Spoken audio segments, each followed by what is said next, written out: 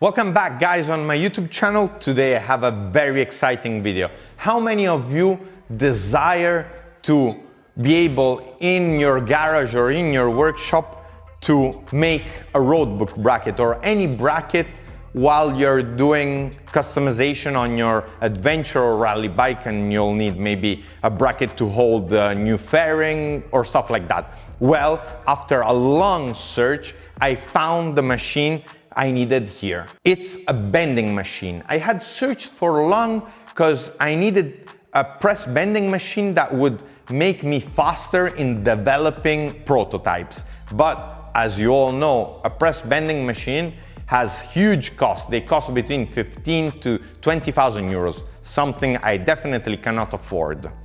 Here is the machine that's making my life much easier developing prototypes. It's a manual bending machine.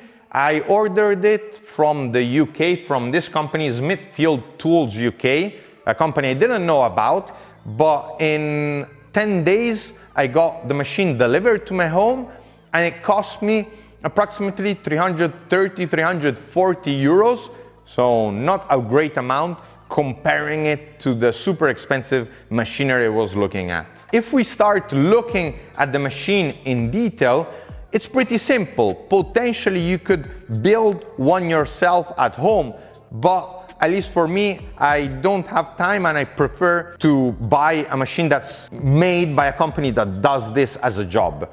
We have here on the bottom a 10 ton hydraulic uh, piston with a lever that will make us make the piston go up and the piston will make the die go up against the punches. These punches it's not a unique one. It's separated in different lengths.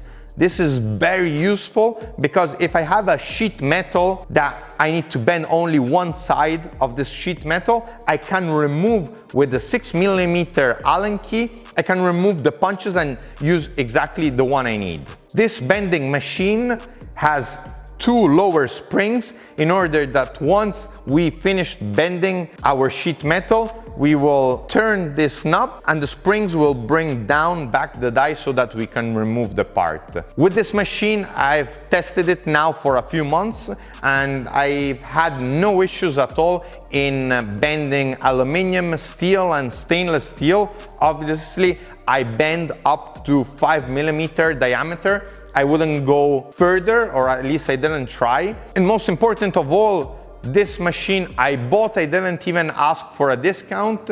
I was really curious to try it out and I'm heavily happy with it. I will link in the description where you can order it and I just ask you if once you order it, just say that you saw my video and link my video. That would really help me out because I want to ask them if we can design different punches for different angles because here the bending angle is all the same, but we could even design our own custom uh, punches by having pieces of metal laser cut and then have someone with a milling machine make exactly the angle, the type of angle we need. I will show you quickly how easy it is to use and how easy you can remove the punches.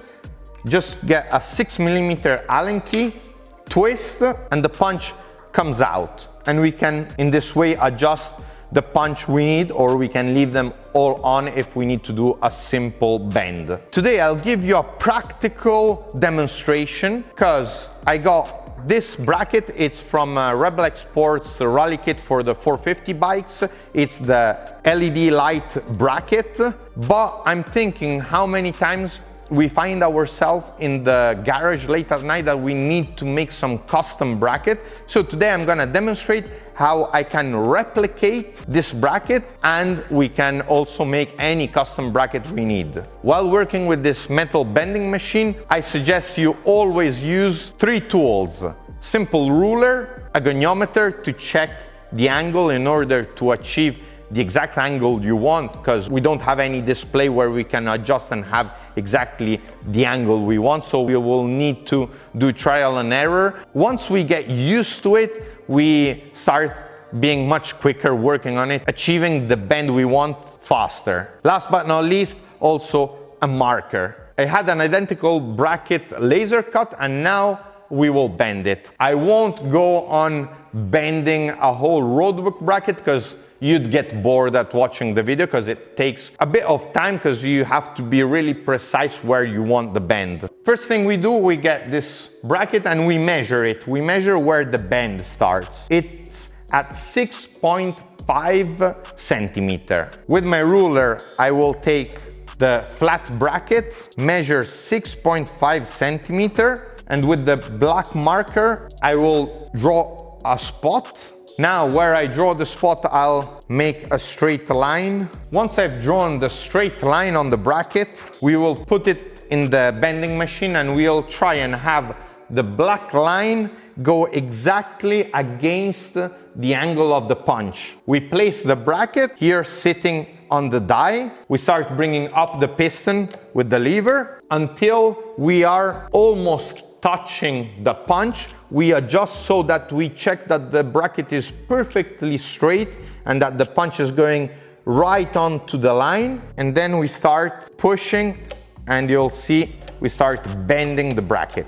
To achieve the angle you want, I told you at the start you have to do a bit trial and error and use a bit of logic. We want a 90 degree angle, which means I will have the punch go almost down to the bottom, but not right to the bottom. The good thing of this machine and of this piston is that you can even slightly press it in order to have a small variation in the angle and not have it, you know, completely off. Once you think you're fine with the bend, you turn this and the springs will bring back down the die. We remove our bracket and we check with the goniometer the angle. Checking with the goniometer, you can see that I'm almost at 90 degrees. I'm about 87. This means I'll give it a little bit more push. We insert it once again. We start bringing the piston up and I'll just slightly try and increase the bend of just a few degrees. Okay, Done, let's check again. Now check this out. I managed to achieve exactly 90 degree. This shows you how an inexpensive tool can change your garage life. Now we have achieved that we have an exact copy of this bracket.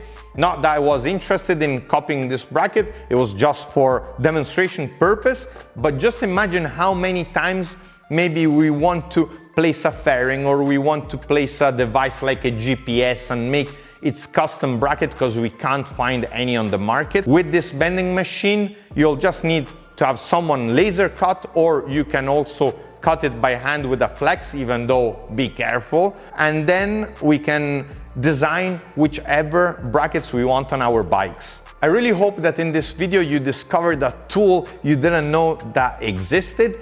Let me know in the comments if you already use this type of machine or if now that you saw the video, you'll go and get one yourself for your garage.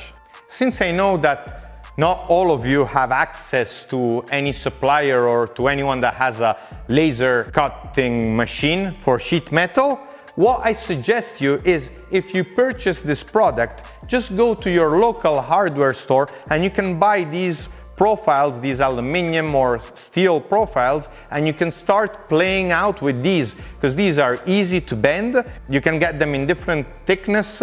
This I think is a three millimeter or two millimeter aluminium. And then you can drill holes and do whatever brackets you want. You could potentially make by yourself a whole nav tower. Let me know in the comments if you would like this type of video. I was thinking about a challenge where we try and make a complete nav tower for a motorbike all made with parts that we can buy at any hardware local store. So nothing laser cut just buy stuff cut it drill it and bend it and see if we can make a super cheap and accessible nav tower that you can also make by yourself at home. Having had this product now for a few months i can tell you it's super super useful and it's the type of products I want to bring you here on the channel things that are hard to find and that maybe took me ages to find. It took me